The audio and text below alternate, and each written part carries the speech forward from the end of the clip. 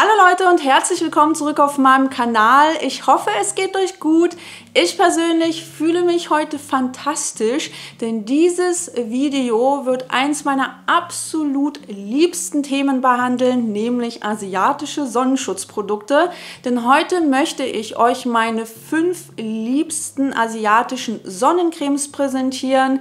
Und wie es der Zufall so will, was eigentlich kein Zufall ist, aber für mich persönlich trotzdem die Kirsche auf dem Eis Eisbecher entsteht dieses Video in Kooperation mit Love My Cosmetic. Ihr kennt dieses Unternehmen vielleicht von einer anderen Kooperation mit mir und dementsprechend freue ich mich einfach riesig, dass wir uns auch nochmal im Zusammenhang mit Sonnenschutz zu dieser Kooperation wiederfinden konnten. Das heißt, auch ihr könnt von dieser Kooperation profitieren, denn ich habe einen Rabattcode für euch am Start, der sich INSI15 nennt und mit diesem Rabattcode bekommt ihr 15% Rabatt auf das gesamte Sortiment von Love My Cosmetic.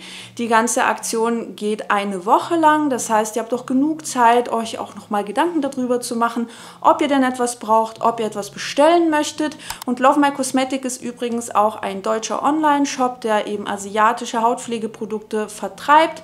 Das heißt, falls ihr keine Lust habt, bei YesStyle zu bestellen oder bei Stylevana zu bestellen, dann ist das auf jeden Fall eine sehr, sehr gute Möglichkeit. Ich nutze den Shop übrigens auch und habe gute Erfahrungen damit gemacht. Der Code INSI15 ist auch affiliated. Das möchte ich an dieser Stelle der Transparenz halber auch nochmal erwähnen. Das heißt, wenn ihr diesen Code verwendet, dann erhalte ich eine Provision. Genug gequatscht, starten wir jetzt mal mit meinen fünf liebsten Sonnencremes. Und hier würde ich mit einer Sonnencreme beginnen, die ich eher im Herbst und Winter verwende. Und zwar ist das die Purito Daily Go-To Sunscreen mit SPF 50+. Die hat nämlich eher ein pflegendes Finish, sie hat auch so einen leicht rückfettenden Effekt. Und man merkt eben auch, dass sie auf der Haut aufliegt, was für mich persönlich vor allem im Herbst und Winter richtig gut funktioniert. Sie brennt nicht in den Augen, sie ist mild formuliert, es sind keine deklarationspflichtigen Duftstoffe enthalten, sie lässt sich gut verteilen, sieht schön auf der Haut aus, ist wie gesagt relativ glänzend und auch pflegend und rückfettend, dementsprechend nicht unbedingt etwas für ölige Haut, aber für den Winter bzw. Herbst finde ich die richtig, richtig gut und sie funktioniert auch ohne Probleme unter Make-up. Die Beauty of Joseon Sonnencreme darf in diesem Video natürlich nicht fehlen. Die ist ja auch nach wie vor bei vielen, vielen Menschen sehr beliebt. Und ich persönlich finde sie auch großartig. Die kommt übrigens von dem Hersteller Colmar, wie auch andere Sonnencremes. Also ich habe hier noch eine andere Sonnencreme am Start, die auch von dem gleichen Hersteller angeboten bzw. produziert wird. Und an der mag ich nicht nur das Finish, sondern auch, wie sie auf der Haut sitzt, wie sie über die Haut gleitet, wenn man sie aufträgt. Sie hat so einen ganz dezent pflegenden Effekt, aber ohne zu viel zu sein. Deswegen finde ich sie jetzt auch im Sommer sehr, sehr angenehm vom Tragekomfort. Sie sieht top unter Make-up aus. Sie lässt sich wirklich in der korrekten Menge ohne Probleme auftragen. Man könnte theoretisch sogar noch mehr aufs Gesicht draufklatschen. Sie krümelt nicht runter. Sie sieht gut unter Make-up aus. Sie brennt nicht in den Augen, was mir persönlich auch extrem wichtig ist.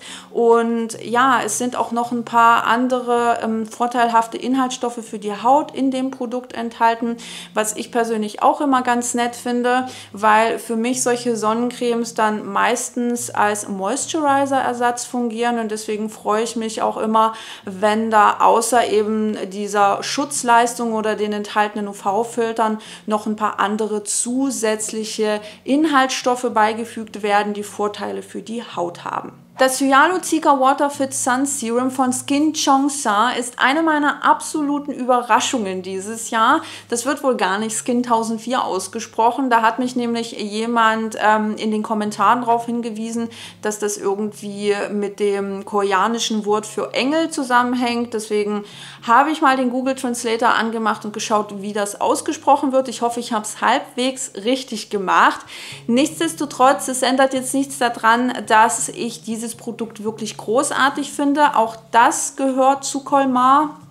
Sprich, Der Produzent ist wie bei Beauty of Josen genau der gleiche. Das heißt, wenn ihr das Produkt von Beauty of Josen mögt, dann werdet ihr dieses hier natürlich auch mögen. Es hat eine recht ähnliche Textur, ein relativ ähnliches Finish. Es sind hier und da noch ein paar andere Actives enthalten. Hier ist beispielsweise Tigergras drin. Es sind verschiedene Formen des Hyalurons vorzufinden. Es ist Niacinamid drin, was ich persönlich ja auch richtig, richtig großartig finde. Und das Produkt ist einfach noch ein bisschen leichter auf der Haut, also zumindest meinem Empfinden nach. Es kann natürlich daran liegen, dass die Actives, die da drin enthalten sind, dazu so ein bisschen beitragen, weil die sich ja doch von der Beauty of Josen Sonnencreme unterscheiden. Und ich muss auch sagen, dass ich die vom Tragekomfort super angenehm finde. Sie brennt nicht in den Augen. Ich finde auch den Pumpkopf richtig, richtig praktisch, weil ich dadurch die Sonnencreme deutlich besser dosieren kann. Das heißt, ich weiß genau, dass sechs Pumphübe einem Gramm entsprechen. Und so weiß ich einfach immer, dass ich die korrekte Menge auftrage. Und an sich ist diese Sonnencreme auch wirklich großartig auf der Haut. Sie fühlt sich super angenehm an. Sie sieht schön unter Make-up aus. Ich habe auch das Gefühl, dass sie meiner Haut was zurückgibt. Also meine Haut wird ruhiger, wenn ich diese Sonnencreme benutze und ist einfach deutlich ausgeglichener. Ich weiß zumindest auch von Leuten, die eine ölige Haut haben, dass die mit dieser Sonnencreme wunderbar zurechtkommen. Das heißt, falls ihr schon immer auf der Suche wart nach einer Alltagssonnencreme, die eben für ölige Haut geeignet ist, dann schaut euch die hier unbedingt mal an. Was wäre dieses Video ohne das Isntree Hyaluronic Acid Watery Sun Gel? Das ist ja wirklich eine meiner absolut liebsten asiatischen Sonnencremes, vor allem für meine eher fettarme Haut. Und die ist so, so wunderschön. Also die hinterlässt einen glossy Finish auf der Haut, wenn man sie in der korrekten Menge aufträgt. Sie lässt sich easy verteilen. Ich habe auch das Gefühl, dass sie meiner Haut so richtig einen Feuchtigkeitskick gibt, was ich selten bei Sonnencremes habe. Also ich habe das auch bei dieser von Skin Chongsa erlebt, dass die eben diesen leichten Feuchtigkeitskick ähm, der Haut zuführt. Aber bei der von Isntree ist es noch ein Ticken stärker ausgeprägt. Ich finde die auch wunder wunderschön vom Finish her. Manchmal ist das für mich einfach auch wie so eine Art Foundation-Ersatz. Also ich trage die auf, dann sieht die Haut so richtig schön prall und glossy aus und dann mache ich hier und da ein bisschen Spot-Concealing und fertig ist mein Make-up, weil die einfach so eine schöne Haut zaubert und so ein gleichmäßig schönes Finish erzeugt. Ich weiß aber, dass dieses Glossy Finish nicht jedermanns Sache ist. Also es gibt sicherlich Leute, die eine ölige Haut haben, die das einfach nicht mögen. Aber wenn ihr eine fettarme Haut habt oder wenn ihr sogar eine feuchtigkeitsarme Haut habt, dann ist diese Sonnencreme wie für euch gemacht. Und zum Schluss habe ich ja noch eine Sonnencreme, auf die ich am liebsten eine Lobeshymne singen würde. Und zwar ist es die Ionique Centella Calming Daily Sunscreen. Die ist so großartig und ich glaube für mich persönlich die Sonnencreme-Entdeckung dieses Jahr, denn die hat auch tatsächlich meinen Liebling von Isntree vom Thron gestoßen. Das hätte ich niemals gedacht, aber die finde ich einfach richtig, richtig toll. Und das liegt unter anderem daran, dass die Formulierung ein klein wenig moderner ist im Vergleich zu Isntree, aber der Tragekomfort sehr, sehr ähnlich ist. Die hat zwar ein weniger Glossy Finish im Vergleich zu dem Isntree Hyaluronic Acid Watery Sun Gel, aber mich persönlich stört das überhaupt nicht. Die ist genauso angenehm wie die von Isntree. Die lässt sich easy peasy verteilen, brennt nicht in den Augen, sieht gut unter Make-up aus. Und das Finish ist für mich persönlich einfach wunder wunderschön. Wie immer perfekt für meine fettarme Haut geeignet, weil es einfach dieses leicht glossy Finish erzeugt und diesen dezenten Pflegeeffekt aufweist, ohne dass die Haut zu überladen ist. Also im Vergleich zum Beispiel zu der von Purito ist die deutlich, deutlich leichter und fühlt sich auch weniger reichhaltig auf der Haut an. Sieht wie gesagt wunder wunderschön aus und auch hier sind wieder einige vorteilhafte Inhaltsstoffe vorzufinden, wie beispielsweise beruhigender Tigergrasextrakt, aber auch Beta-Glucan. Was wäre dieses Video ohne eine tabellarische Übersicht? Deswegen pausiert am besten nochmal an dieser Stelle, um euch einen Überblick zu verschaffen. Ich habe nämlich versucht, die Sonnencremes so ein bisschen einzuordnen und sie nach Konsistenz bewertet, was für ein Finish sie erzeugen. Natürlich findet ihr auch in der Tabelle die entsprechenden UV-Filter der Sonnencremes vor. Falls ihr euch für die Abkürzungen dieser UV-Filter interessiert, also falls ihr nicht wisst, was BEMT oder IHT oder DHHB heißt, ich verlinke euch meinen Beitrag zu UV-Filtern unten in der Infobox.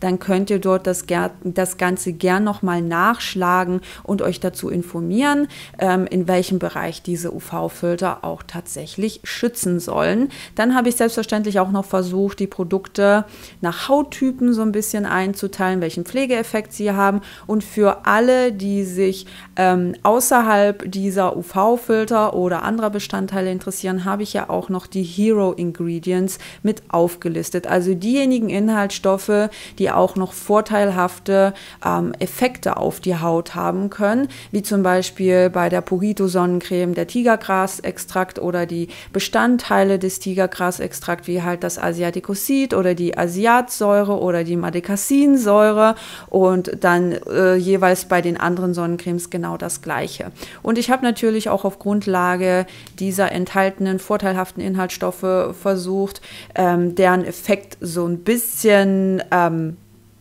ja, zielgenau zu bestimmen, damit ihr genau wisst, was könnte man mit dieser Sonnencreme außerhalb des UV-Schutzes sozusagen erreichen. Und wenn wir schon mal beim Thema UV-Schutz sind, natürlich habt ihr hier auch nochmal die Angaben zum UVB sowie zum UVA-Schutz. Das sind übrigens alles transparente Angaben der Hersteller, also der Anbieter. Die findet ihr auch auf den Webseiten der jeweiligen Marken.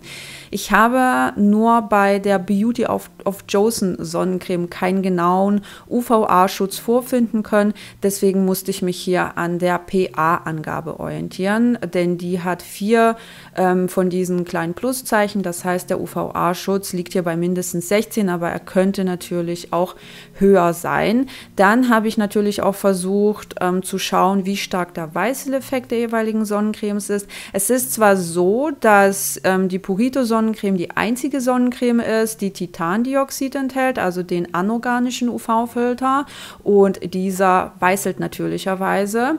Aber es gibt selbstverständlich auch organische partikelartige UV-Filter, die einen leicht weißen Schleier erzeugen können, der allerdings deutlich dezenter ausfällt im Vergleich zu anorganischen UV-Filtern. Hier kommt selbstverständlich auch immer auf die Konzentration an, aber nichtsdestotrotz ist bei allen anderen Sonnencremes, die auf organische UV-Filter setzen, also die Beauty of Joseon, die Skin Chonsa, die ähm, Isntree Sonnencreme und die Ionic Sonnencreme, da findet sich eben auch ein organischer partikelartiger UV-Filter drin vor, aber da ist kein wirklicher deutlicher Weißeleffekt wahrnehmbar. Halt nur so als Info für alle, die vielleicht einen stärker pigmentierten Hauttyp haben. Das war's schon mit meinen Sonnencreme-Favoriten. Ich hoffe sehr, dass das Video euch weitergeholfen hat.